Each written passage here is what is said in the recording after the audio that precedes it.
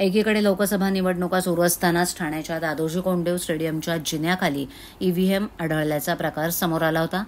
राष्ट्रवादी काँग्रेसचे नेते जितेंद्र आव्हाड यांनी अशा प्रकारे ईव्हीएम आढळण्यावर आरोप केले होते.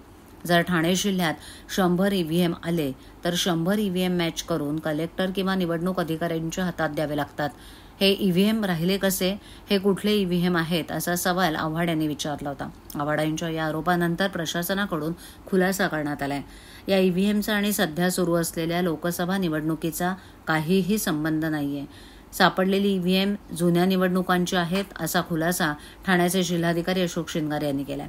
ठाणे महापालिकेच्या दादोजी कोंडीव स्टेडियममध्ये जुन्या आणि वापरात नसलेल्या एका रूममध्ये निवडणुकीसंदर्भातलं जुनं साहित्य साठवण्यात आलं होतं. दादोजी कोंडीव स्टेडियमच्या नूतनीकरणाची प्रक्रिया सुरू आहे. या गोदाम आणि खोलीचं नूतनीकरण शिल्लक आहे. या नूतनीकरणासाठी ही रूम ठाणे महापालिकेकडे हस्तांतरित करता येऊ शकेल का? याबाबत ठाण्याच्या उपायुक्तांनी आमच्याकडे विनंती केली होती.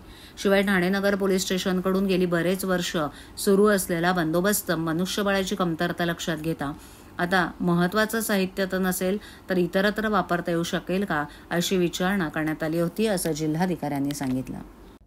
ठाणे महानगरपालिकेच्या दादोजी कोंडदेव स्टेडियममधील जुन्या आणि वापरात नसलेल्या एका रूममध्ये निवडणुकीच्या संदर्भामधील जुनं साहित्य साठवण्यात आलेलं होतं. त्या संदर्भामध्ये आज एक बातमी प्रसारित करण्यात आलेली आहे. त्या बातमीच्या अनुषंगानं मी संपूर्ण माहिती घेतली असून त्याची वस्तुस्थिती अशी आहे की ठाणे महानगरपालिकेच्या अंतर्गत दादोजी कोंडदेव या स्टेडियमच्या नूतनीकरणाची प्रक्रिया सुरू असून उर्वरित नूतनीकरण पूर्ण झालं असून फक्त या खोलीपुरतं किंवा गोदामापुरतं नूतनीकरण शिल्लक आहे. हे नूतनीकरण करण्याच्या अनुषंगानं ही रूम जर त्यात महत्त्वाचं साहित्य नसेल तर ती रूम ठाणे महानगरपालिकेकडं हस्तांतरित करता येऊ शकेल का? याच्या संदर्भामध्ये ठाणे उपायुक्तांनी या आमच्याकडे विनंती केली होती.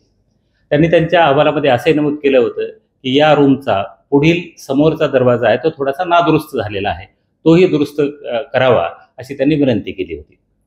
त्याशिवाय ठाणे नगर पोलीस स्टेशनकडून या ठिकाणी गेल्या बऱ्याच वर्षांपासून सुरू असलेला बंदोबस्त सध्या परिस्थितीमध्ये मनुष्यबळाची कमतरता लक्षात घेता त्यांच्याकडे असलेली मनुष्यबळाची कमतरता लक्षात घेता तो बंदोबस्त जर आत साहित्य महत्त्वाचं साहित्य नसेल तर तो इतर तर वापरता येऊ शकेल का अशी विचारणा केली होती.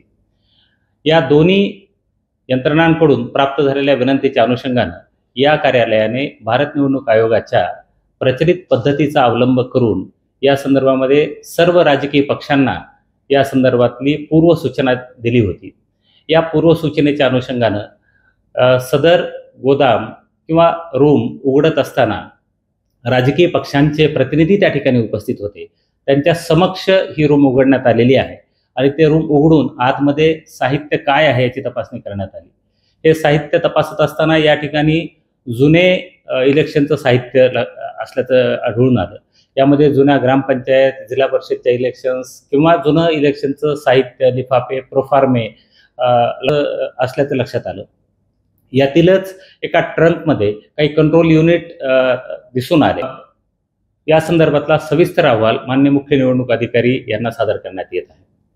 त्यानंतर ही ही वस्तुस्थिती लक्षात घेता समोरील मुख्य दरवाज्याची दुरुस्ती करून तो दरवाजा परत सीलबंद करण्यात आला आणि तेथील बंदोबस्त पूर्ववत कायम करण्यात आला. या बातमीच्या अनुषंगानं मी हे आश्वासित करू इच्छितो की या जुन्या वापरात नसलेल्या गोदामाचा आणि सद्य परिस्थितीमध्ये लोकसभेच्या अनुषंगानं सुरू असलेल्या निवडणुकीच्या प्रक्रियेचा काहीही संबंध नाही.